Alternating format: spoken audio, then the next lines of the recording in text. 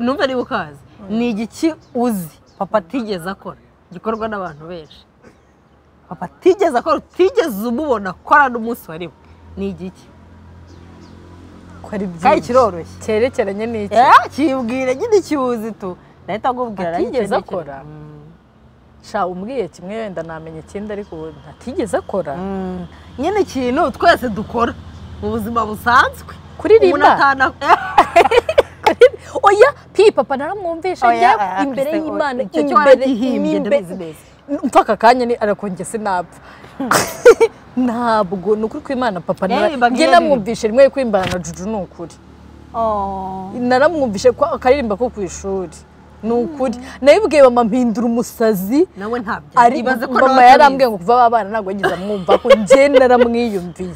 Cyangwa kubona papa ahagaze ari kwireba muri miriwa yewe ntabwo nigeze mubona. Eh, no kwisiga. Ahubwo papa ntigeze yisiga. Na rimwe ajyaga twamumenya kandi namwe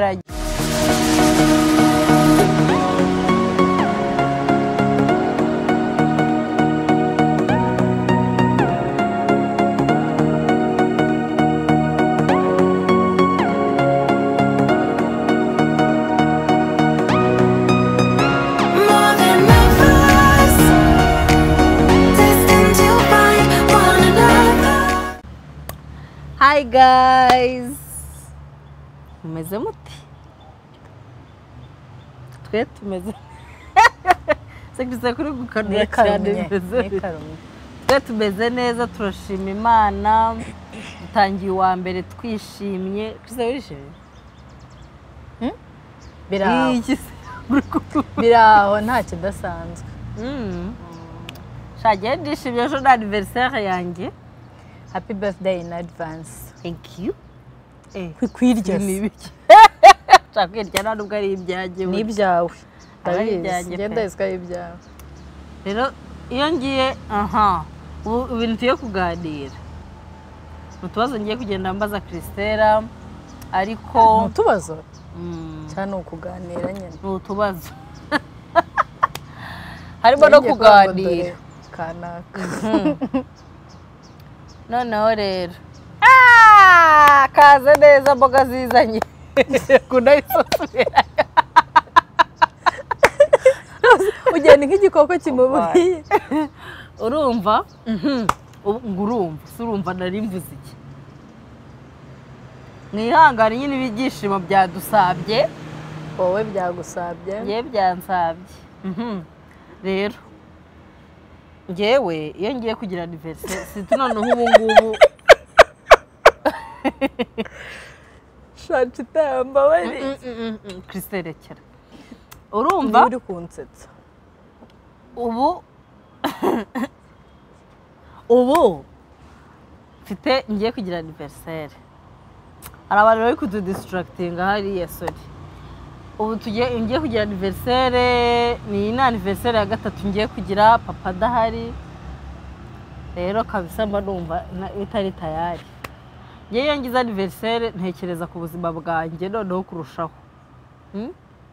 ibintu maze kugeraho ibintu ntarageraho ariko ndashima imana.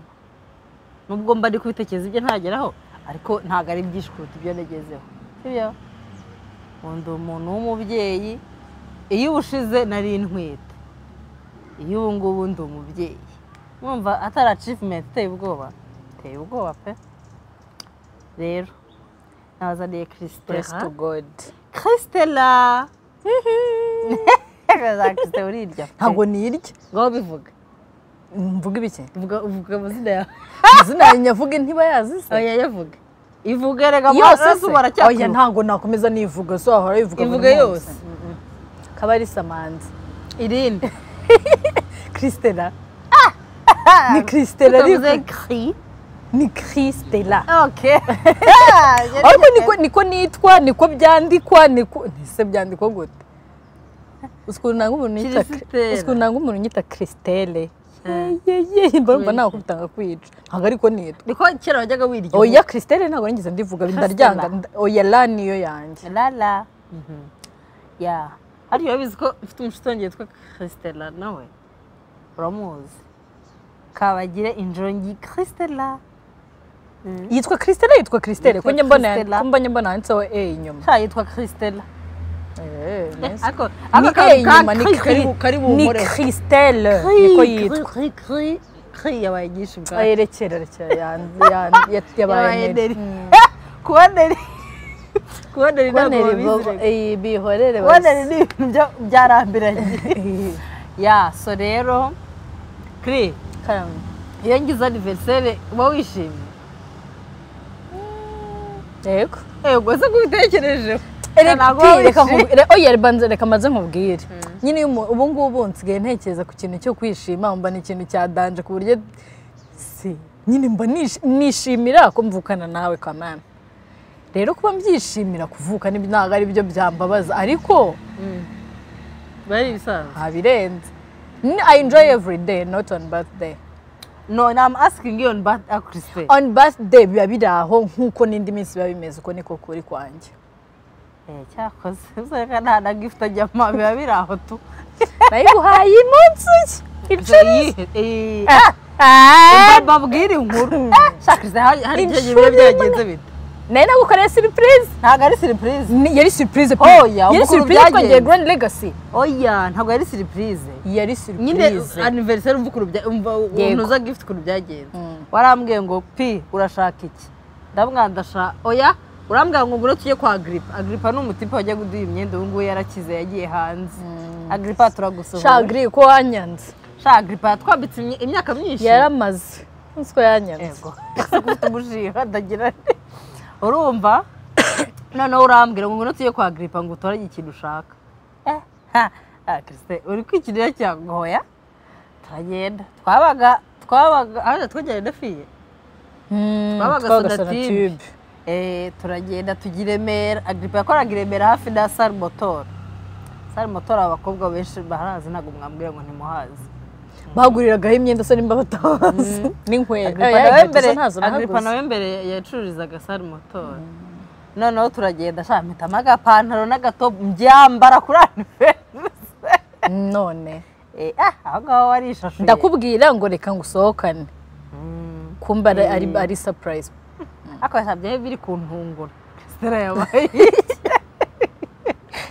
iwacu nta bintu byo by'inkundo cyane ariko nkeka ko abavandimwe benshi ariko biba bimeze nyine niba uba ushaka- umukunda niba ushaka batari ko biba ariko bitari ibya danje nyine utirirwa ubyerekana ngo wirirwa upositinga aho Christelle wowe urapositinga kuri aniveriseri najyaga mpostinga ariko ubu narabiretse akandika igitabo uyu mwana akatajya bibwira turi kumwe ariko niko kuba ari ukuri se nakubwira ngo iki ariko nabikubwira.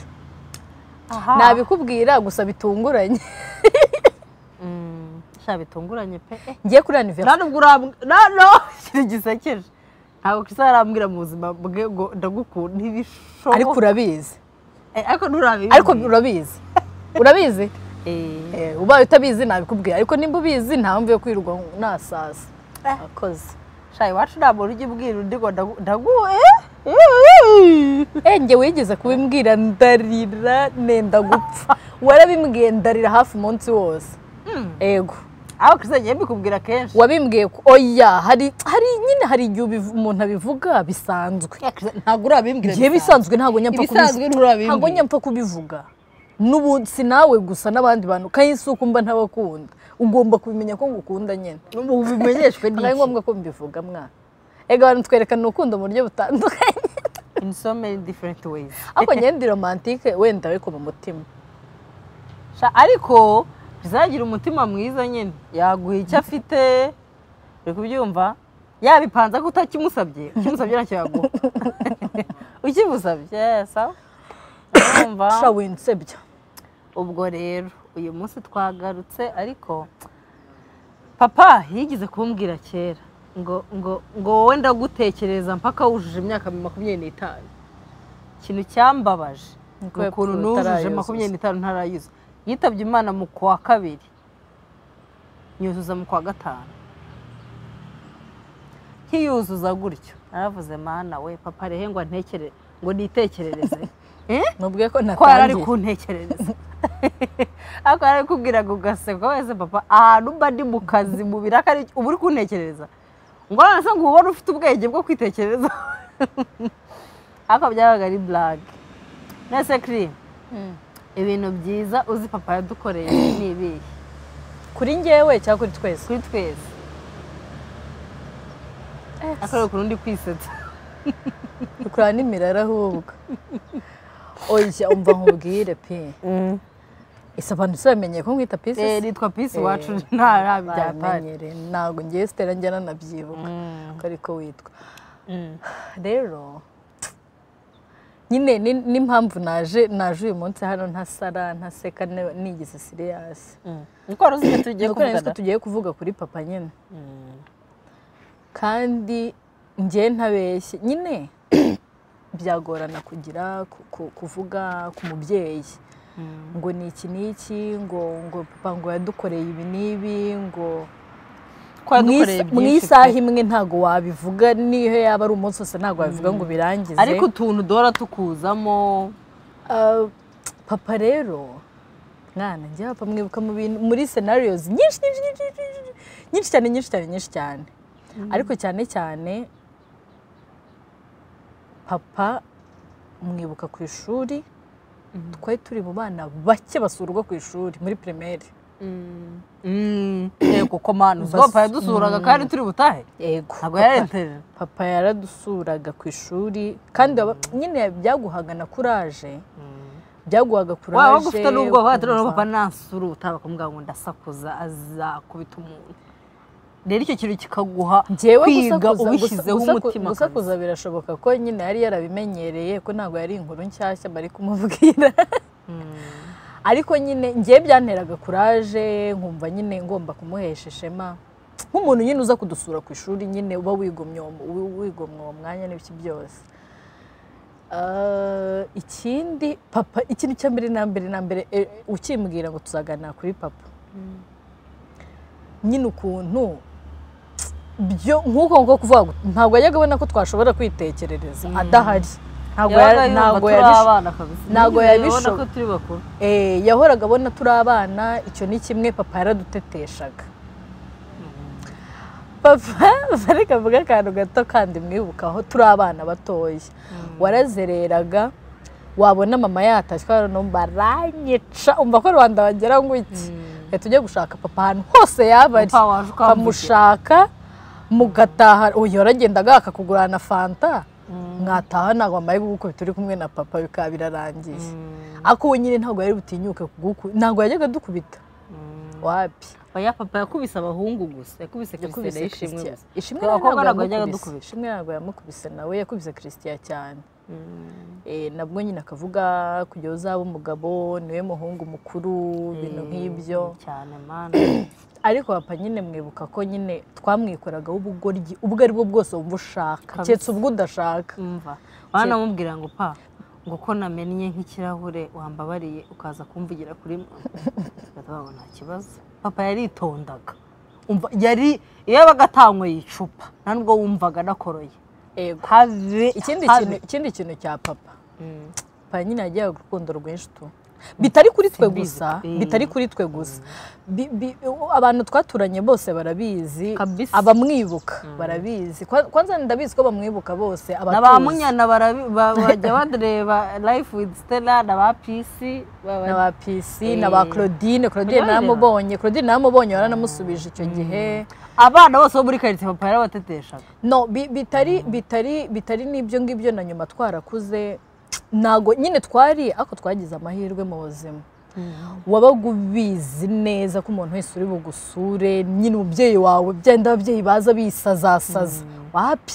Yagufataga neza ukabona nyine yakwitaye ku mushyitsi wawe nk'aho baziranye kandi bataziranye agatangira amakuru yo mu rugo ibiki akantu kose gahara akaba aramuzaniye nyine.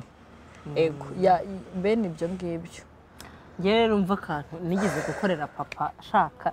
Na n'ubu ngubu okay, nari umwana nari umwana kuko na papa niyo yaba aramuka ahari ntiyanabyibuka ariko gihora kimbabaza. Nyine impamvu nagikoze ntukivuga ngiye kukivuga. oya wikivuga. Mbabarira nimbazi ngusabye. Nari muri primaire. Oya wikivuga pe? Yego. Icyo ni ukuri ndakizi niga mu wa gatanu. Kuri garderobe. Eh, niga mu wa gatanu. Noneho turaza baduhaye birete noneho iyo abana bageze muri pirimeri mu wa gatanu baba wagira ngo barangije nka univerisite baba birya bavuga utugambo utamenya ariko rero ngenda kuva kera nabaga mfite utugambo twinshi sinzi ikibazo Nikuteye, kabisa. yakuremye. no- no nari ndi shapu ukuntu nari ndi shapu kabisa. Ndi more than shapu noneho turaza nyine iwacu ako papa papa rero ikintu yajyaga agira iwacu twagiraga biro mu rugo. Mm. Eh, Mm. kabisa harimo ibitabo bya papa umva ni cyo kintu yubahaga. Tunigiramo. Habamo eh. n'ikibaho twigiragaho cya Kabisa. marikeri ntabwo ari ibintu byo kwigira muri ntuza ahantu hose uboneye uhatama akayindi biki wapi? Papa yagiraga biro afitemo orudinateri urabyibuka. Ya kera desktop. Eh, afitemo imeza afitemo intebe noneho ngewe na kirisita nyine yari biro nyine yari biro pe. nyabiro Mm. ariho twigira nyine nimugoroba ariho dukorera amadevuware ariho papa aza kuturebera ko turi kwiga ibintu byose. Noneho ubwo twari tuzi nyine ahantu utaha ushyira birete turagenda nyine twese twaribwirizaga nyine. Kirisitera ngewe bayishyimwe baraba ariko nabo barigaga eh. nyine twese tukagenda tugashyiraho birete turagenda tuzishyirayo noneho papa araza. Papa yajyaga akunda gutaha saa sita. Akaza akarya rimwe na rimwe akaryama akongera akagenda mu kazi ke. Noneho araza abansanze ndi kureba imyenda urumva twari tumaze kuva ku ishuri ndi kureba imyenda mpindure mvanemo iniforume aba arambwiye. Ngo pi yajyaga agita pisi Mm. niko witwa ariko niko yajyaga kwitwa izindi birete ko nazibonye iyawe iri he. Mpita mureba gutya Ni- none aho dushyira birete ntabwo uhazi Eh, eh, eh, pi ako gasuzuguro niko ntashakaga kuvuga agako gasuzuguro si ubundi mu buzima hari ubwo nsuzugura Ntabwo nzi- ntabwo mbizi ahantu satani ya- yavuye mba eh data niyo mbisubiyemo mba numva ubwo wabunyishe papa yari amanuye ahantu hejuru narindi. Ni- rwo rushyi papa yankubise aramanura anshyira hasi ankubita urushyi. Rumwe rwarandijije kugeza nimugoroba. Ubwo icyo gihe byari nka saa saba cyangwa saa munani. Ndarira uwo mbonye wese nareba nka christian nkakomeza nararije nko kurira nkakomeza nkarira. Umva ni rwo rushyi papa yankubise kugeza igihe yitabiye imana kabisa. Ni rwo rushyi papa yankubise ntigeze yongera kunkubita. Arankubita ajya kuryama ndi kurira abyuka ndira hmm?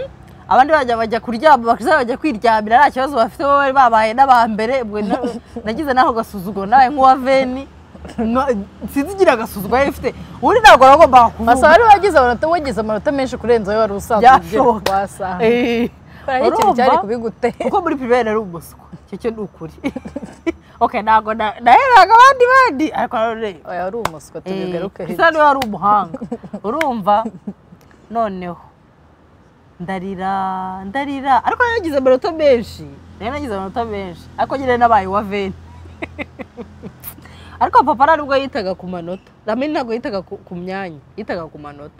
Niba warisubiyeho gihe? Uwo ni wowe papa ngewe ibintu byose yabyitagaho. Mm. byose. Wowe- uvanyemo konduwite nyine wowe kuko wabaga mu ba mbere icumi. Eh, shana, twe- twari mu ba mbere icumi gute? Ntibyashobokaga. Urumva?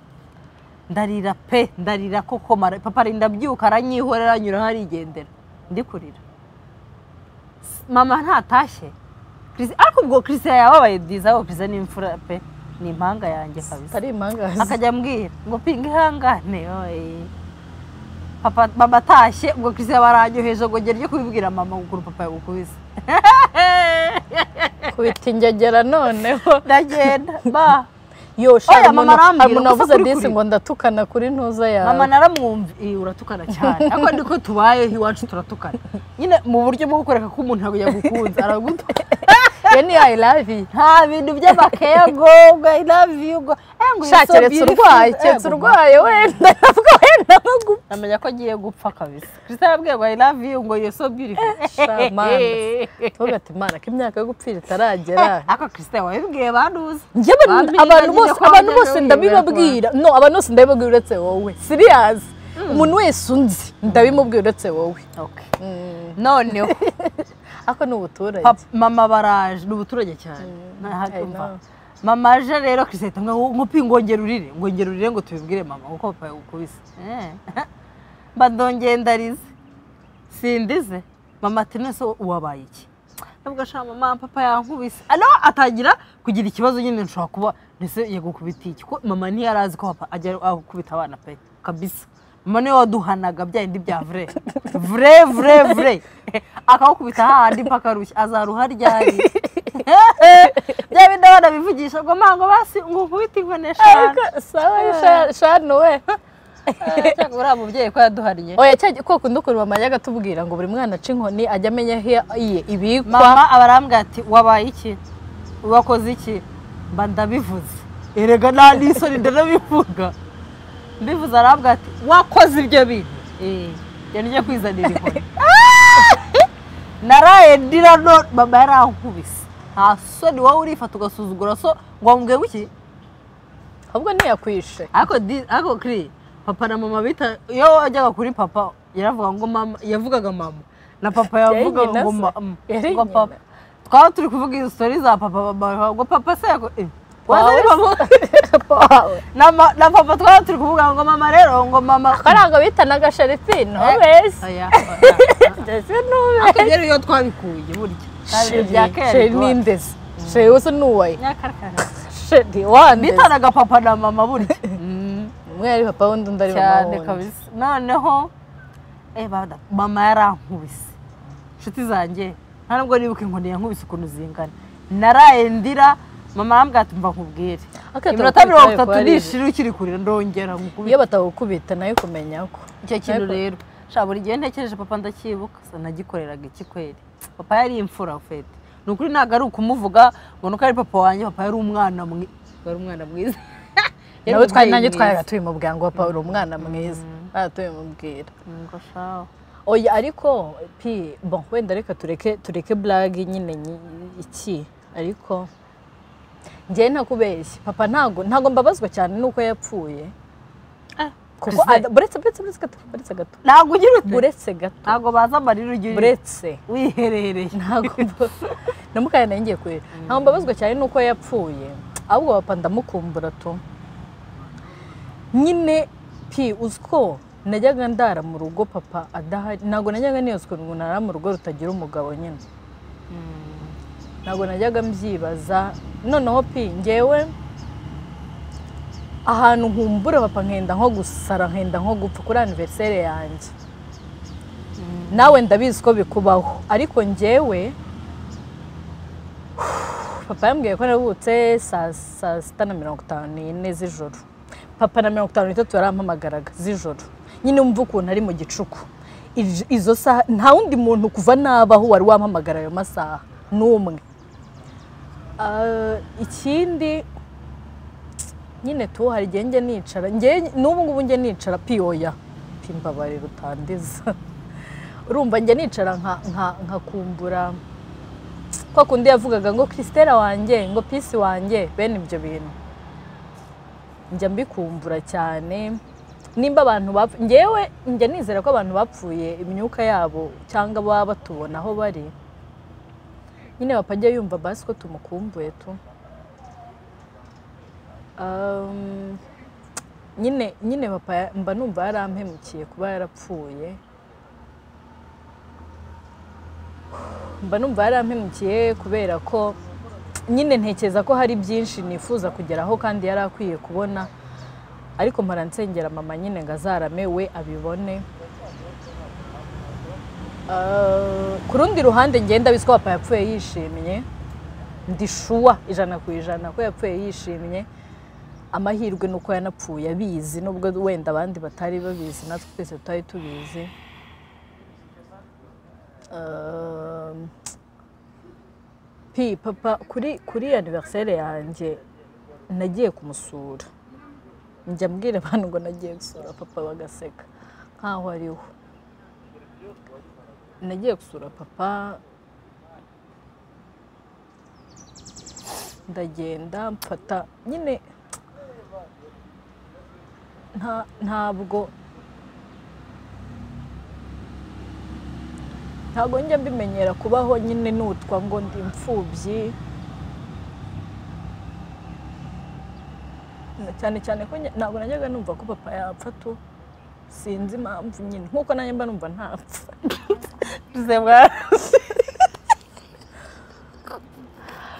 Yego nagira duseke. Ariko byasahuye ntabwo najyaga numva nyine nka kuriya ngo aba- Numva. Napfa gute? Se? sinjye nzapfa pe? Nzicwa n'iki se ngewe hazaba habaye iki no siriyasi kandi ntabwo niko kuntu yiyumvamo mba numva ntazapfa. Mba numva nzahoraho njye nzahoraho nahozeho nzahora urumva no ariko ukuri ni uko na nyine. Ejo n'ejo bundira. Twari turi kumwe na mama turi kwinjira mu rugo. Ndebye ku ndebye ku ibaraza ariko ni- wa- warampemukeye ejo bundi umbwira ngo tuzaganire kuri papa. Nari ndi kureba ku ibaraza igihe cyose nkahita mbona papa yagakwiye kuba ahari. Nyine twagakwiye kuba turi muvuga ahari. Papa nababajwe reka nkubwize akantu papa yakoze rero nkavuga nti nababajwe cyane. Nari ntabwo nababaye cyane ku bukwe bwawe. Eh, narishimye nishimira nyine ko wagize ubukwe nishimira nyine ko ugiye kugira umuryango nishimira. Nyine nk'uko umuvandimwe nyine yishimira iby'undi muvandimwe. Ariko pi nararebaga nawe n'ukuntu papa adahari nawe n'ukuntu papa akwiye kuba yishimye. Nyine yari kuba Uzi yatumiye abantu aba- ishyano ryose mpite ishyano ryose. Ewe we nabo biganye nabo natekere kuba bahari bibwa bibwa. Urumva? Sha rero reka mbabwize ukuri. Njyewe kugeza na n'ubu ngubu nyine byaranshegeshe kuba papa adahari. ntabwo njya mbyakira. Nk'abashuti banjye benshi barabizi. Kuko ndicara kandi twe- twese mu rugo tumeze nk'aho twarwaye turoma papa akimara gupfa. Twese. Na n'ubu kiri n'ubu ngubu. Na n'ubu kabisa. Urumva n'ubu ngubu. Ureba akantu yajyaga akunda kureba ukabura amuvuze hari nk'ikintu nicara dutera burage oya ndicara ndicara nkavuga sha ubu disi papa biba bigenze gutya ubu papa biba bigenze gutya twaba turi kurya ubu papa biba biri Reka kuba ari Reka nkubaze akantu. Numva niba ukazi ni igiki uzi? Papa atigeze akora. Gikorwa n'abantu benshi. Papa atigeze akora utigeze umubona akora n'umunsi wari we ni igiki? Kandi kiroroshye. Cyerekeranye n'iki? Eh, kibwire nyine ikiwuzi tu? Nahita nkubwira Atigeze akora? Mm. sha umbwiye kimwe wenda namenya ikindi ariko ubu ntatigeze akora. Mm. nyine ikintu twese dukora mu buzima busanzwe. Kuririmba? oya pi papa naramwumvisha ah, imbere y'imana imbere waragihimbye, imbe- ndabizi neza. mfa aka kanya ni ariko njye sinapfa ntabwo ni ukuri kw'imana papa njye namwumvishe rimwe kurimbana na juju ni ukuri naramwumvishe akaririmba ko ku ishuri ni ukuri nabibwiye mama mpindura umusazi nawe ntabyo mama yarambwiye ngo kuva babana ntabwo yagize amwumva ko njye naramwiyumviye cyangwa kubona papa ahagaze ari kwireba muri miriwa yewe ntabwo nigeze mubona. Eh, no kwisiga. Ahubwo papa ntigeze yisiga. Na rimwe kuva yisiga. kandi nta mwera yagiraga oya nawe yaratubwiye ngo yaherukaga. Nimba yarisize bamusize kera nyine ari akabeba atabizi. Oya! Ariko ngo mama ngo ko ubwenge yambwiye se ko ari umusore yajyaga yisiga. Ni ukuri? Ngo yajyaga yisiga akitana na parufe nese ba- Uvuga oya ngo buriya papa- yitaye agaparufetisi buriya yitaye agaparufetisi ko papa ariko ntigeze yiteraga parufe nyinshi akayimara mana we mama bajyaga bari gutoga. Ese we parufe ko uyimaze bimeze bite papa yarayogaga Eh? yari umwana mwiza we. Ntabwo nashaka ko iki kiganiro amari kiza ariko nyine tutabivuga gutyo urumva n'ubu ntabwo twaza tuvuga ngo papa yari umwana mubi. Ariko abantu bose bamuzi barabizi neza ko yari umwana mwiza kabisa. None iyo wazaga mu rugo uri umushyitsi ntiyaburaga ikintu kimwe aguha ngo utware. Bigi- umva ni itegeko. Kandi yahoraga dutonganya ko mutatetse umuntu uko Mm, ntiwari ubizi neza ko uwo muntu ari Eh, papa waretse. Yibeshya hagira umuntu ugenda nta kintu ariye. Icyo kintu cyaranyenervaga icyo kintu cyaranyenervaga kuko yarashoboraga gusanga mwariye mwamusigiye ibyo akazana ahantu nka batanu kandi bose ashaka ko barya papa yigize akora christine. Cyakoze ku mutima nyuma. Ariko mbere mbere y'igikora ntabwo cyagukoreye kweri. Uba uri mu biki. Ibintu byinshi ntabwo byankoze ku mutima atarapfa. Nari ntetse amata. Urumva? Kirisite litiro ebyiri. Nawe urabizi ko turi benshi mu rugo. Abana batanu na papa na mama. Byonyine ngemba ndi bumwe nk'imwe n'igice. Kirisite akunda amata byata. Niyo yaba yapfuye yayanywa. Oya. Cyangwa se yapfuye ntiyayanywa oya amata yonyine ntanywa bya bindi munywa ngo umubanje oya amata yonyine ntanywa ni yandi bashyira ku mbabura nyine ugiye kuyateka agahita apfa. Niyo yonyine ntanywa ayandi yose niyo yaba araye iminsi itatu. Akiri mazima kizarayanywa oya bari mazima se bayabaye iki nari ntetse amata rero.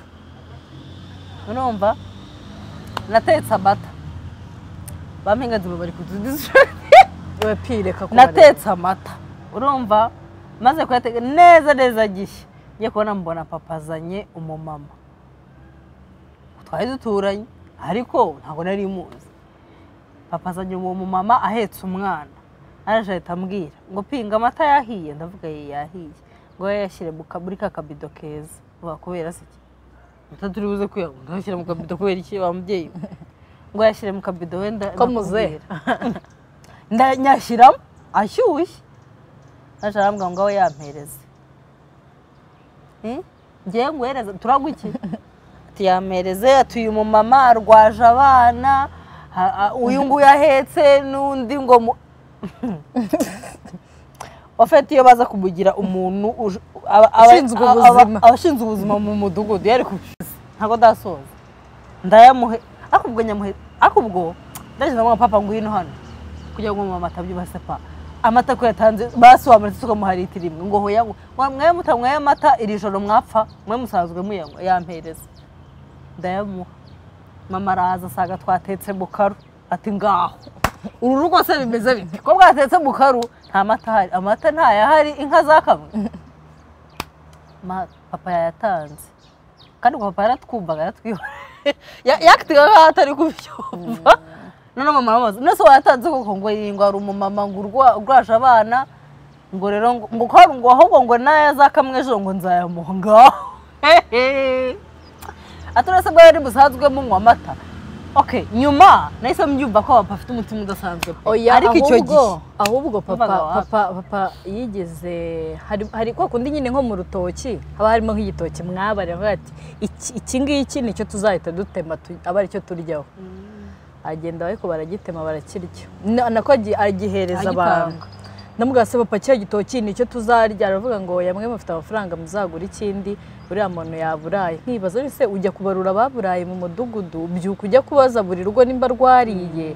Ngo ya ngo twahuye arabimbwira ngo kandi noneho abantu baramuprofitaga bakanamubeshya. Mm. Eh, baramubeshyaga ko babaga bazi neza ko ari buhita abafasha. Muri pirimere rero ibaza ibyo byo byabaye muri ibyo byo by'amata byabaye ndi mukuru ndi mukuru kabisa nka demi. Uteka amata nyine Demi uguteka amata. Uteka amata nyine ari mukuru. Eh, nari mukuru. Noneho ariko ibyo rero byari muri pirimere turamanuka turi gutaha tubona papa.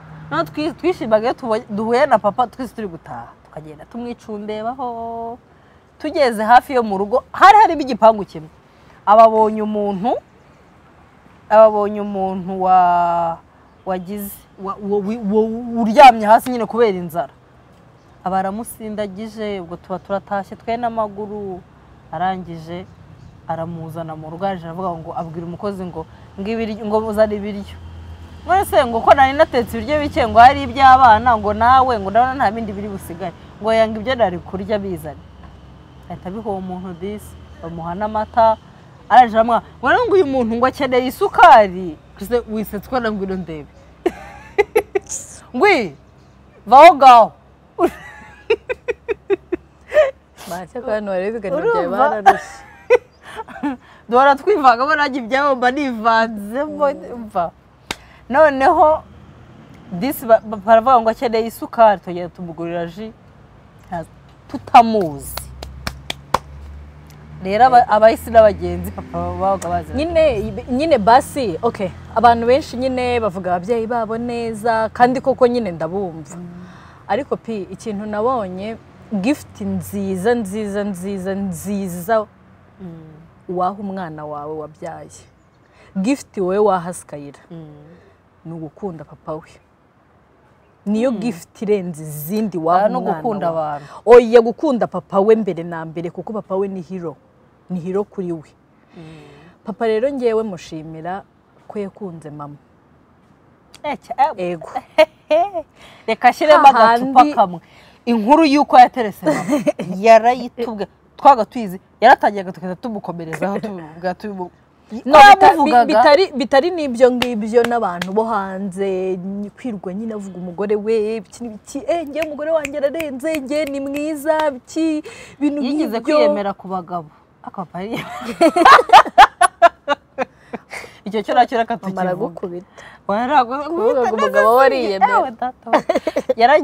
Na- narabyumvaga neza urabona ari ibintu batubwiye. naragiye hari ahantu papa yajyaga akunda kunywera nyine agacupa n'abandi ba- bapapa bo muri karitsiye.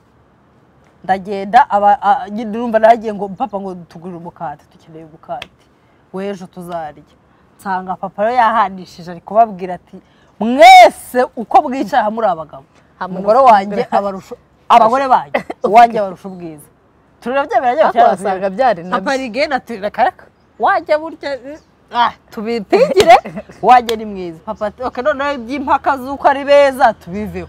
Wanjye arusha abanyu ubwe- ubwenge. Ariko ni byo Eh, oya ni byo reka abandi bagore umva ikindi kintu umva ikindi kintu ariko icyo rero kivuze Umva ikindi kintu. naratashye mbibwira mama mama arapfa noneho. Ariko nawe ntiyari kubimubwira. Ubundi ndi uwa papa. Ndi uwa papa. Nawe ntiyari kubimubwira. Umva ikindi papa papa nyine hari ukuntu kera eh, ni- nigeze kumva ubivuga ko mba ari kwa sabe mba ari kwande nyine ukuntu mama yakoraga bya danje ajya kwiga nyine agira ibintu- byinshi cyane kandi natwe agomba kutwitaho n'ibiki byose. Birumvikana ko yatwitagaho umwanya mutoya. Ariko papa sha yahabereye Yabaga ahari mama kweri we. yari ahari yari ahari kwa kundi umukozi yagiye ntabwo mama yari gusiba akazi ntabwo iki papa yariyeranjaga mu biryo bwose akadutekera nyine agadutekera ibiryo bitari ibya fureshi bitaryoshye ariko oya oya ibyaga biryoshye ko byaga birimo amavuta menshi kandi oya. uba nkubwire uba nkubwire. Nangiye kwivamo nako ariko nyine papa sha papa yaradutekeraga agadutekera ibyo ngiye akabiteka. Ibyo ngiye kuvuga byabaye wowe uri muri segonderi waragiye. Wowe wari uri ku ishuri. Cyangwa yigize bayishimwe akabaha amandazi kubyumva? Ariko uretse n'ibyo, iyo sha. shuri sinshobora kuva hano ntayivuze. Njye nize guteka papa nize guteka kubera papa. Kubera ukuntu nabonaga papa byamucanze mpfa guparanga ariko nawe nteka ibibisi ndabiteka byari mu gitondo. Umukozi ati ubu tuvugana ndagiye ndatashye. Mama ati se ko icyo utashye? Ko ari mu mibyizi basi wazatashye muri wikendi atoya? Atari umuntu urwaye iwacu rirerere Mm, mama rero ntabwo yajyaga yinginga ni ho nakuriye kutinginga ntabwo njye ninginga rero burya mu buzima. Iyo nkubwiye ngo purize irimo ukanga ndakwihorera. None se mba bubigenze gute?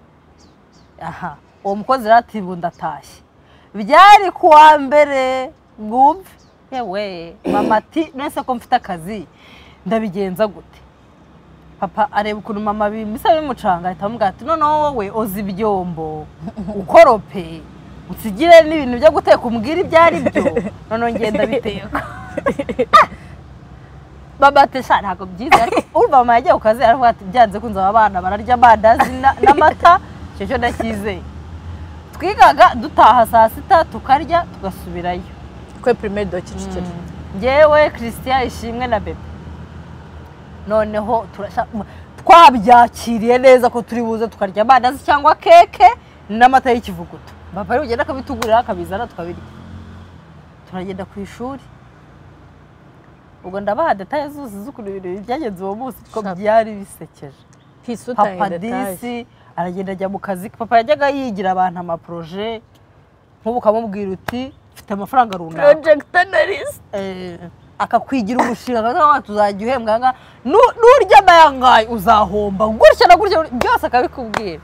Rero abantu bo muri karitsiye benshi yarabibakoreraga oya ariko pi biriya bintu biriya bintu yari yaragize yari afite na ofisi no yari eh, yari yaragize na, na trainings nyine z'ibyo bintu. Ikindi kiriya gihe bari abantu bakeya mu gihugu ibyo babyemerewe kubikora akagusitampingiraho kuri ibyo mishinga yakwigiye kugira ngo banki kugira ngo banki iguhe loan. Kiriya gihe ntabwo wapfaga kwikubita gusa ngo ugende atari abo bantu. Ndakeka bari nka bari yarambwiye ngo bari batandatu Ah, icyo gihe. ariko- yaranabeshyaga ariko ni- ariko ni byo bya bari bake. Wasa yaranabeshyaga papa kugira ngo kwemeza uburyo arenze agomba kukubwira ikintu gito kikwemeza uburyo? Urumva? Mhm, turagiye tugiye ku ishuri. Umva saa sita ndavuga sha nimuze dutahe ariko mwitegure ryari indazi n'amata turata nta kuraje dufite Mm, tugeze mu rugo dusanga papa yatetse. Pa biryoshye. Ni ukuri pe ntabwo ndi kubeshya. Mbwira ngo yari yavangavanze ibiki ibiryo bwa mbere twatetse byari bibishye ntiwabimbwira ibintu papa yari yavangavanze nabwiye pa ibiryo bitetse ute ati ndafashe ibirayi ndabihata Okay. ati oya papa mama yari yabihasa na byo ntabwo nabeshya mama yari yahasa ibirayi mfata ibirayi shyiramo ibishyimbo shyiramo imboga imboga zo yarazikase ariko na twa tuntu twaba turi ku mboga twose turimo. Twose tutagomba kujyaho twari turimo. byose bikaswa nguko ati mfata amavuta mfata nyine amazi nshyiramo umunyu. Byose yashyiriyemo rimwe ashyira ku mbago naba nawe pi icyo bwa mbere na mbere ateka papa yashyizemo n'ubunyobwa. Imbere y'imana yo mu ijuru icyo gihe yashyizemo ubunyobwa ni cyo kintu cyahise gituma amenya guteka kubera ukuntu byari bibishye ni cyo kintu cyahise gituma amenya guteka ariko byaga bihiye kubera ko yakundaga ibishyimbo ntabwo yibagiwe gushyiramo ibishyimbo urumva? Icyo gihe papa yashyizemo igishyimbo cyangwa n'ubunyobwa ntabwo ari ukubeshya ni ukuri kwibona byari biryoshye none njyewe nagize ngo yabwiye nk'umukozi runaka duturanye araza aramutekera. Ati "Muna- mu- mumeze neza? Yaguze na avoka yayikase. Eh, naratunguwe ndishima. Nigaga mu wa gatanu mu wa gatanu ariko papa numvaga njye ateka ibiryo biryoshye kwenza mama. Ni ukuri. Disi inshuro ebyiri mu buzima bwe cyangwa eshatu. yari yatuguriye n'ikivugo tumva shaka papa yari yadutetesheje kweri mubyeyi yagize nabi kuduseka kabisa. Ni ukuri nyamara numva nari gupfa mbere ya papa. Ehoye ehoye nanone urumva? Si napfa we? Noneho disi si umwabaho umute mpfuye aratubwira ngo murye neza ngo mwitonde. Tuti yo turarya turasoza. Bari mugende ku ishuri mudakererwa. Turagenda. Ariko ibyo- ibyo mbo- yogere- yakoresheje ukuntu byanganaga kugira ngo akate yuzuye. Yesu yakatishaga ikintu ngo iki kirango kiri gukata? Agakatisha iki? Yakoresheje ibyombo byinshi pe. Twaririye ku bindi byose bisanga aho ngaho nimugoroba ntabwo ibyombo byari kubyoza birumvikana. ubu rero yabwiye papa ngo siga wogeje ibyombo unakorobye ahantu hasa neza. Nuko ariko disi arambwira ndamubwira nose pa ko mbona hano hari ibirahure bibiri bya- byanywereshejwemo inzoga wanywesheje ibikombe ibi- ibi- ibi- ibirahure bibiri? Ngo hoya ngo hari umushuti wanjye waje hano. Aimable. Iyi aimable yari yaje kumusura aimable asanga za ngo yaraje ngo noneho ngo yaraje ngo akajya ngo ese kabari ngo uri gukomeza winyabya nyabya bimeze bite? Uri he? Uri mu biki ngo eh ngo nkomeze nganire nawe. Icyo kintu Ngo abana banjye bave ku ishuri ntibabone icyo barya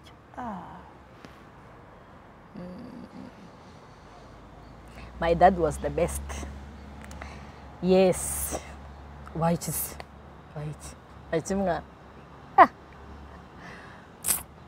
yego ariko pi- ukuntu ukuntu ukuntu ibintu biba bimeze ah, nk'iyo ndeb- njya ndeba nyine ukuntu abantu kuri social media batanga ubuhamya bakavuga ukuntu abapapa babafashe nabi bakavuga ukuntu babihakanye bakavuga ukuntu batabareze neza bakavuga bakavuga bakavuga ibintu byinshi cyane. Ariko nshima imana twebwe ibyo tutabibonye pe nta hantu twahuriye na byo nyine uwabura urukundo bwawe rubuze hanze ariko hanze yo mu rugo. Eh, ubwo nyine yaba yararubuze hanze yo mu rugo Um, ikindi ikindi ikindi papa papa simbizi njye nimba ngira urukundo cyane. Ariko papa yadutoje urukundo pe. Nyine hahandi nta muntu n'umwe watoranya wigize wumva. Umuntu n'umwe. Papa avuga ngo aranga. Hoya. Bibaho. Ni- na wa muntu w'umunyamafuta abantu bose bavuga abantu bose we yamushakiraga icyiza byanze bikunze we amukundira kandi yaza mu rugo ntawe kandi wumvaga papa ari kuvuga umuntu. Icyongeye kuri ibyo ngibyo. Byo? ego icyongeye kuri ibyo oya wenda abagabo bo n'ubundi ba mugabo uvuga si ukaba ari umugabo papa we. yavugaga mama. Yewe we. Oya nkari nka minisitiri ngo reka nkubwire papa utambwira inkuru y'ukuntu waterese mama. Ngo reka nyikubwire mwana wa aka ngo mama wawe rero ngo eh data we. Eh, ajya ukuntu yari mwiza ajya papa yari mwiza. Eh, aha papa yari mwiza. Oya pe umva papa yari mwiza rwose Yasaga nanjye. Eh. Eh? Eh? Twize twarasaga oya Eh, mwarasaga ibyo utuntu twinshi ariko nyine apana ibyo kutirya. Nayo ngiye Ariko kuvuga ikindi kintu mwasaga gisekeje. Ntacyo mvuga wanyica. Papa twarasaga. Papa yari mugufi. Papa yari mugufi.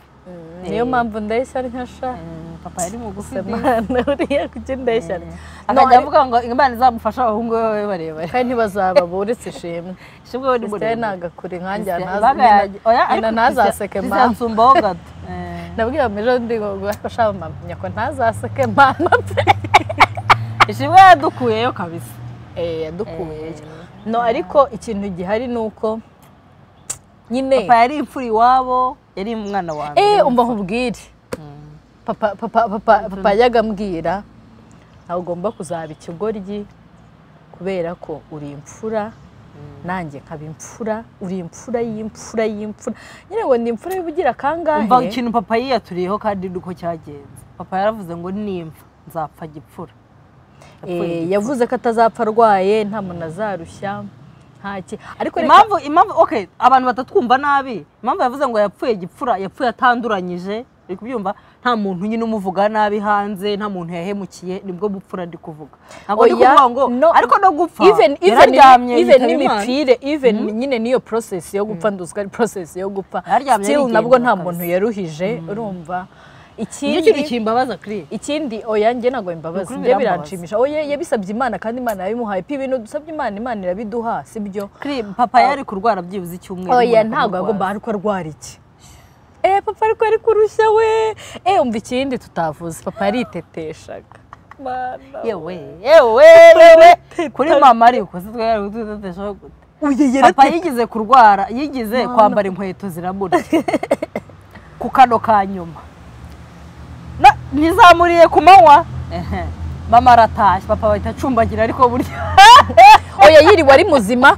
Yiriwe turi kumwe ameze neza atarwaye. Oya ahubwo hari igihe mama hari igihe mama mama yaragize mama papa- yahamagaye mama. ntiyigize arwara indwara Yarwa- eh yajyaga arwara njine pe. Zonyine ariko nabwo ntarembe oya nabwo ntiyajyaga kwa muganga yaranywaga koka agakira ubwire papa yahamagaye mama aramubwira ati ubu ndarembye taha ibintu bimeze nabi napfuye aratabaza mama barampamagaye ati none papa ameze ati ndamubwira papa ameze neza njye nayimusize ameze neza muri salo amwangiye papa ameze neza ati kandi njya mvugisha rwa genda umurebe. Ndamubwira papa ameze sinjye turi kumwe papa ameze. Nagiye no kumuramba mbona ameze neza. Ndamubwira mu bantu kuri kumwe papa ameze neza nta kibazo. Mama arabyihorera aritindira aho atahiye papa yararembye yarembye mubona. Mama yapfuye gukarakisona papa araremba. Yesu nubwo papa wabaye iki papa araremba. Mama araza mama aransomera mama. arantuka. We ngo ugiye nakubajije ngo reba ngo ukuntu ameze. Mama. Noneho hari ukuntu umuntu akugira umusazi se ndavuga ko atari arwaye kandi abibona ko arembye ariko nyine sha yariteteshaga aha ikindi. Ngo papa ngo arishakira imyenda yo kwambara ngo papa ngo arikorera inkweto ngo papa ngo mama wabikwaga nanjye. Nyine ni papa eh papa ni mama nawe.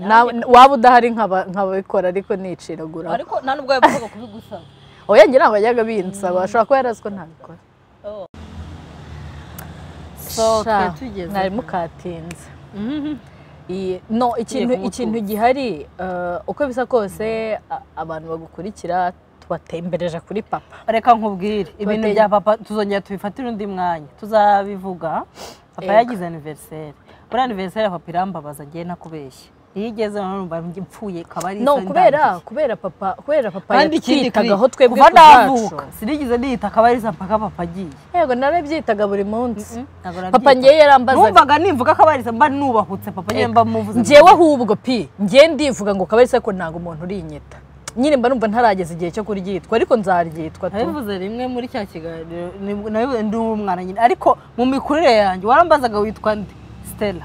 Kuvuga akabarisa byarangoraga njyewe rero pi na papa ubwe yarambazaga ikintu amuga njyewe kabarisa agaseka. Kandeba. Kabura nk'agaciro kanjye. Ariko yarakoze kutwita izina rye. Um, kuko it will live on. Ni ligasi we nyine yasize. Ni ligasi yasize noneho rero kiri tuzaza tuvuga uburyo papa yitabye iyo tuzabivuga ikindi ibyo kwitaba imana tuzabireke ntanshaka kubivuga tuzabivuga ikindi gihe nko Chris yendaga gupfa. Nawe yari agiye twari tugiye gushyingura abantu babiri. Ariko nanjye nari impfuye nta muntu utarababaye. Reka nkubwire. umuntu w'umubyeyi ngewe papa yitaba imana. Nibwo nahise nakira uburyo najyaga njya gutabara abashuti banjye ba- ba- ba- babuze ababyeyi. Ni bwo numvise icy'ubu agahinda agahinda agahinda ko kubura umubyeyi ntabeshye. Nta kandi gahinda kabaho kakarenze. Muko nahuye nako nyine mu duhinda Keretse twose nahuye natwo uri umwana wenda. Urumva ntawe nabuze rero. Niyo mpamvu ntabyo nzi. Ariko wowe waramubuze? wowe waramubuze? Urumva ikintu gihari um, umubyeyi nyine ni umuntu uba igihe cyose ahora yumva nyine ashaka gupfa mbere y'abana adashaka ko hari umwana we wapfa mbere ye nyine yego. Ikindi papa papa papa narabivuze nyine njya nshima imana ko papa yapfuye nyine atari we wa- nyine ari we wapfuye mbere ya mama nyine. Kuko yiyamamaza gupfa. Papa yari kumukurikira. Ndishuwa miliyoni ku njye nawe ijana mubajije se pa ari wowe na mama uwapfa mbere ninde? Bwa ngo mama wanyu ngo amaye ntabwo yapfa reka mama ni immortelle reka ni nkanjye mama ntazapfa ni nkanjye mama wanyu ngo njye ntabwo nabishobora rwose. Ubuzima ntabwo nabushobora ariko njyewe reka nkubwiye pe ikintu cyantunguye ntabwo nibazaga ko nabaho papa- adahari. Papa. Ariko mama nawe yari yaramugize nabi ni amakosa ya mama. Aba No- makosa. ni ayo makosa. Ya mama none iyo babana ntakajya amupangira imyenda ntiyari kumenya kubyipangira papa iyo yaba agiye se akayipangira agakora iki? ngo nyoko yagiye atampangira imyenda ngo ujye kundeba imyenda ndi bwambare. Ukamureba ibintu byose n'amasogisi n'inkweto ukabimushyira aho ngaho. Ego kujya ku isengeri. Isenge byose ugashyiraho. Kandi ukamushyira noneho iyo tutaragira amazi ashyushye mu nda n'igihe wamushyiraga amazi. Ibintu waramutegura nk'uko utegurira nk'uko warategurira sikayira ukavuga ngo sikayira mwogere ujye koga wiyambire nanamucungiraga ko ikora rimeze neza ibiki. Ariko niko kubyara bimera pi niko kubyara bimera ni Njye na cyo kintu nyine. Akenshi rero ikintu ahari abantu benshi baba bifuza kubona umuntu yitaba imana hari wabitaho. umuntu wambwiye ngo ngo jya muri kiriya cyumba yitabiyemo imana sinigeze nkinjiramo mpaka hashize nk'amezi nk'atatu. Hari umuntu wambwiye ngo njye kundeberamo ngo kamambi ndavuga inde inde ujya kuzire cyangwa mubireke nibi Uh! numvaga ndi bugende nkahita mubona. Mana we. Ariko ariko nanone reka reka tureke um, ntabwo tubayeho nabi. Tubayeho nabi. tubayeho mama ari mu cyimbo cya papa kabisa. Mama abaye- aratubyimbye. Aratubyira Eh, ariko hoya njyewe njye ku giti cyanjye papa kera nyine hari ikintu papa yajyaga avuga nti- tukaburana ntitwemeranyeho nyine. Uko yaravugaga ngo nta muntu ku isi utagira umuntu wamusimbura. Njye ntabwo mbyemera nta muntu ahubwo ufite ntabwo umuntu wasimbura umuntu use gute nubwo tuvuga nyine Icyo ok cyuho mama aragerageza mama aragerageza ariko still ubibona ko nta papa uhari. Anise urashonje atarapfa.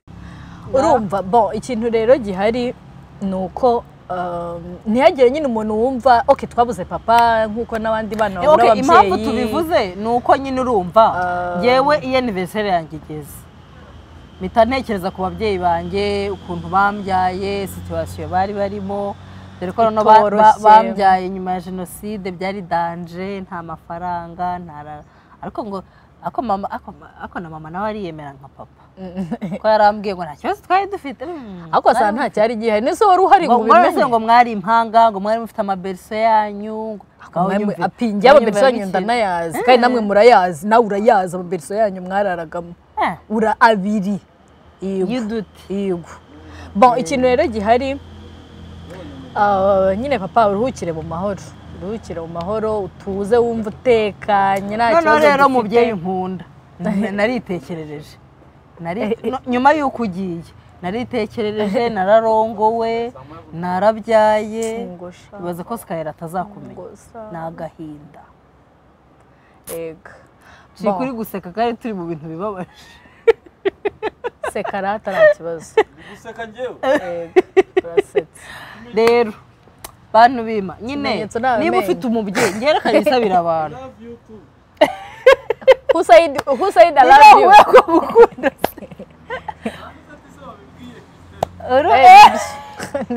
urumva reka nisabire abantu akantu niba ugifite umubyeyi wo kabyara we mufata umukomeze umukunde ubimubwire kenshi umukorere ibintu byose. Bimwereka ko umukunda. Nanagenda azagende yishimye kandi ikintu cyonyine waha umubyeyi ni uku gendera muri pasi ikwiye. Sibyo? Yawe ariko ntabeho ngo yicuze impamvu yakubyaye. Umubyeyi nageraho yicuza akavuga ati nicuza inda ukuntu nagutwiza. Uwo ni umuvumo kandi ushobora kugukurikirana. Sibyo? Rero. Niba uri umwana itwararike kabisa. Niba uzi ko umubyeyi wawe nk'ubu ikintu kijya kimbabaza. Kiriniki Aca. ndakumena utangiye kurira. Niba uzi ko umubyeyi nk'ubu ngubu papa njya nicuza nahoraga mvuga mana warakoze kumpa akazi nzaha papa gifuti iremereye. Iremereye cyane. Iremereye cyane kabisa. So guys turi gukatinga kweri cyane. Ariko twagira muri make nyine ngewe nari ndi gutanga inama. Mm? niba mm, uri umwana itware bwana nyine hari makosa ushobora gukora uri umwana. Ariko niba umaze gukura itware nk'abantu bakuru kandi umuvumo w'aba- w'ababyeyi ura- urakurikirana. Icyo cyo ndakizi. Nzi abantu benshi bagiye bavuma bikabakurikira cyane cyane uw'abapapa in case you didn't know. Uw'abapapa urakurikirana cyane. Kuko akenshi papa wawe ajya kukubwira ikintu mugeza umugeze ahangaha so rero twagiye tubasangiza nyine impamvu nazanye iyi iyi iyi iyi kontenti mbwira christelle ngo tuzabivugeho ni uko nzi ko ngewe kuri aniveriseri yanjye. Mpita ntekereza papa cyane. Na mama ndamutekereza ndanamushimira ko yambyaye akanyitaho bakaturera neza. Batureze neza. Yiga umwana. Kurusha inyikasi yiga wa- ni- birashimishije. Batureze neza birashimishije. Ni ukuri nta kintu mama batwimye bagifite ntacyo pe. Bya bindi umubyeyi ubona ufite umubyeyi wirirwa sireyinga mufite imyenda yacitse.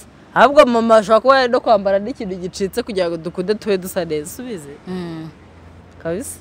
Batureze neza rero papa yaradutetesheje utuntu twinshi cyane papa yadukoreye tuzatubabwira ubutaha. Christelle ari kurira ntabwo nzarira mwana ngiye sinkirira. Umva nkubwire um, ko nkwambuye mikoro kuri cano yawe bon ikintu gihari ikiganiro kigiye kurangira ni byiza mwakoze njyewe iyo ngiye kuvuga kuri papa birancanga tu birancanga sometimes ubura ahantu hera ukibaza ko ubu ngubu nyine ari bw'ubuzima. Nyine cyane. ubu ubu ni bw'ubuzima noneho bwari butangiye neza bwo kuba wenda uwo yakwifuza nyine. Siko bimeze?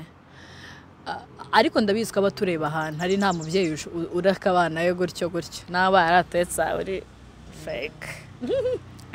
Mbibuze gahoro ngo atabyumva. Ariko ngiye ngiye ngiye kubwira abantu babiri ahangaha mu kiganiro cyawe. Ndabasuhuza ndasuhuza abantu babiri turashize noneho Eh, ntabwo nsuhuza ntabwo nsuhuza eh ngo ndamusuhuza ngo ndashaka- mukuru wanjye ngo twicaranye hano wamusuhuje si ubivuga. Ni ngombwa ko ubivuga kuri radiyo. Umva bon um, sha nyine nazanyemo ntabwo nari nzi ko ndibuza n'ubusazi muri kino kiganiro kubera ko nikaruye bya danje. Eh, ariko reka mvuge ku bantu babiri. Babiri eh, oya batatu. Ikiganiro Aje gita babisa. ahubwo ntibari bukirebe. Umuntu wa mbere nshaka kubwira bivuge ndeba muri kamera. Aya nagize isoni. Shangira isoni. Pius ko ngiye isoni. Bya seriye bon ikintu gihari? Ndashaka kugira ntabwo mbizi nimba abantu bapfuye nyine baba batwumva ariko ndashaka kugira ijambo mbwira papa ijambo mbwira mama n'ijambo mbwira wowe. Yego. za disikuru zawe zirateye oya ntabwo ari disikuru za danje. Um, icya mbere papa nimba ahantu uri uri kunyumva warakoze. Nyine njya ngukumbura. Ndagukumbura byatari cyane cyane cyane ariko cyane cyane. Hari nk'ibintu nyine bimbaho nkumva nari nkwiye kuba ndi kubikubwira. Hari hari nyine mu rugo habaye ibintu byinshi. Habaye ibintu byinshi udahari.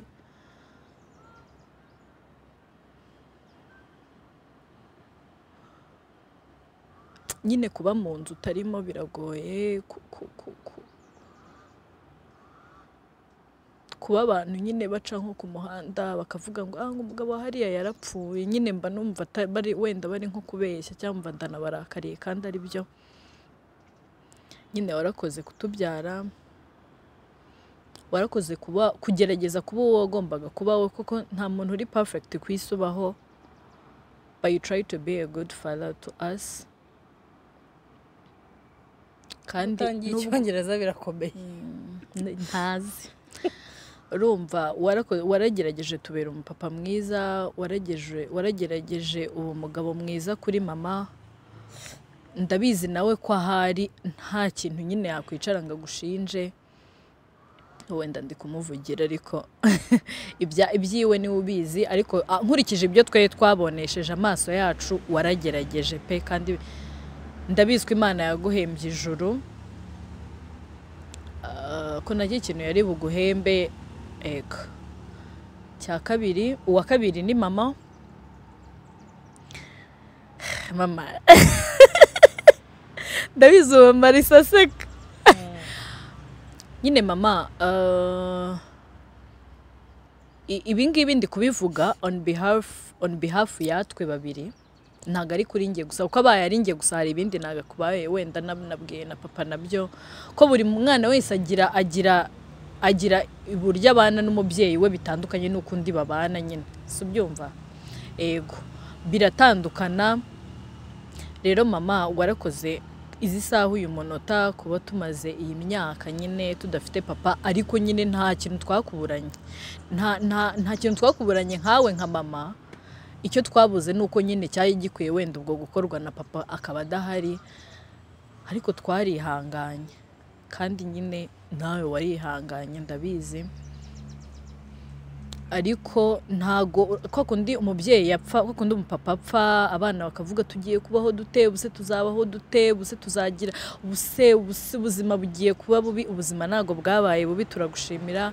Ubuzima bwagumye uko bwari bumeze nanone sinavuga ngo bwa bwabaye bwiza cyane ko ntabwo bushobora kuba bwiza cyane hari umuntu ubura ariko bwabaye bwiza nyine. Uko bwari bwari butegetswe kuba nta kintu watwimiye ngo ni uko papa adahari siko bitanashoboka dukurikije ukuntu tukuzi nyine you try the best nyine to be the best the best mama in the world. Um, hanyuma ndabashimira ababyeyi banjye ko muri babiri uh, siko ndi guterekera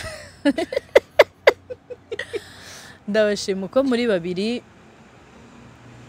Iyo bya- iyo mumbyara mwenyine amini iyo mumbyara njyenyine nzi neza ko nari kubaho ubuzima butishimye nyine. Ndabizi. Birashoboka ko niyo mumbyara muka- muka- mukabyara abandi bana mbaruta cyane nabwo bitari kuba byiza kuri ngewe.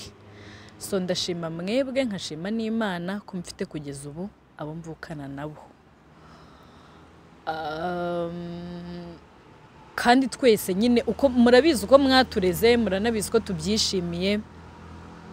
Ariko nyine buri muntu wese aha umuntu udafite a- umuvandimwe ni we ubizi uburyo kugira umuvandimwe bibabaje ariko ngewe ayo mahirwe ndafite ndashima imana ndashima n'ababyeyi.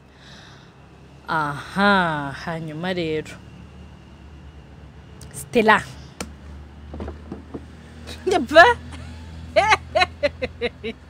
Ndikusanyije. Um, Okay. Ego pick no take it serious. Eh, I'm now serious. One- once in my life I'm serious. Urumva bon. Pi um, ntago mprofise kamera. Ntago mprofise ko ndi kuri cano yawe. Wabivuze nyine ugitangira. Pi winda mu maso cyane ntaseka urumva no no no no reka tube serieux sibyo ntago ntago mprofise kamera nyine Ah, ariko ntakiri nturire ndakwinginze. Nyine pi uri umuvandimwe mwiza tu. Uri umuvandimwe mwiza. Umuntu wese yakwifuza kugira.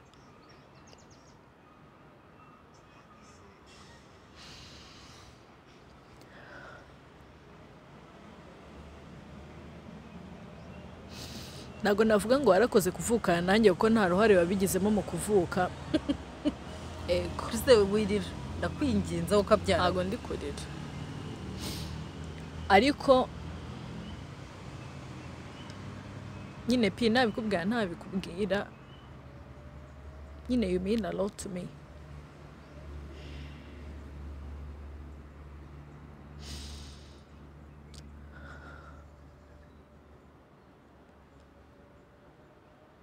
Nyine we dufite byinshi tuziranyeho. Dufite byinshi tuziranyeho. Umwana mwiza. Byatari cyane nyine kurenza kurenza uko abandi bantu bakubona mutavukana.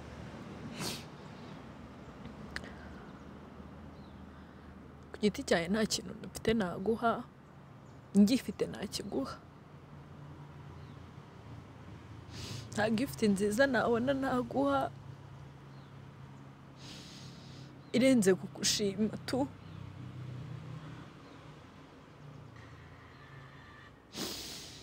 pi wamfashije mu bintu byinshi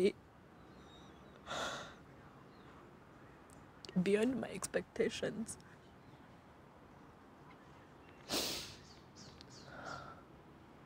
Wirira ndakwinginze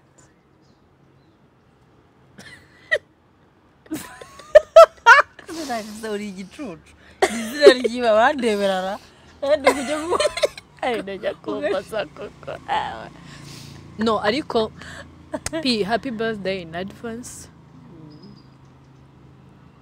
Nyine i wish i can say more. I wish i can do like nyine ikintu kirenze cyane nyine kirenze kirenze. Ikindi ngushimira ni uko bwana bwanjye ntabwo bwabowe tu.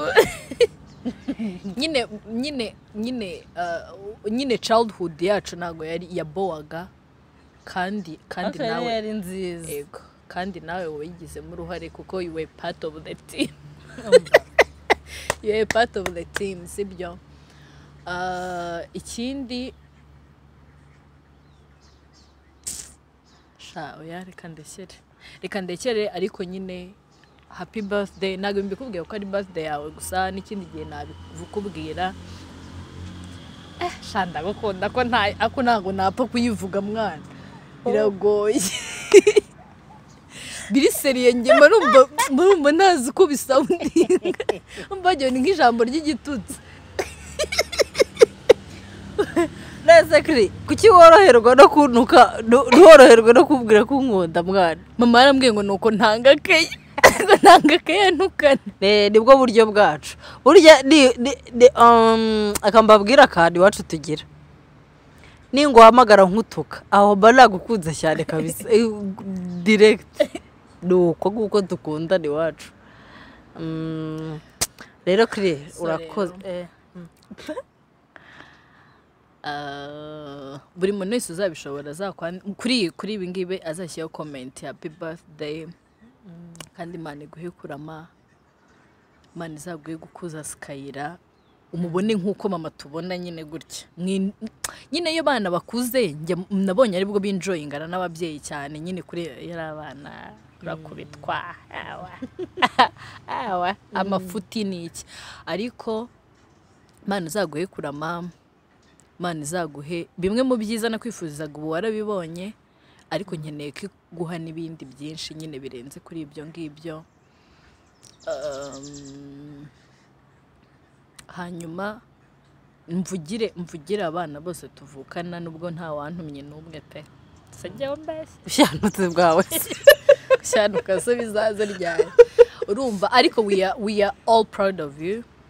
So far ku byo ugezeho nyine kuri w'aka kanya.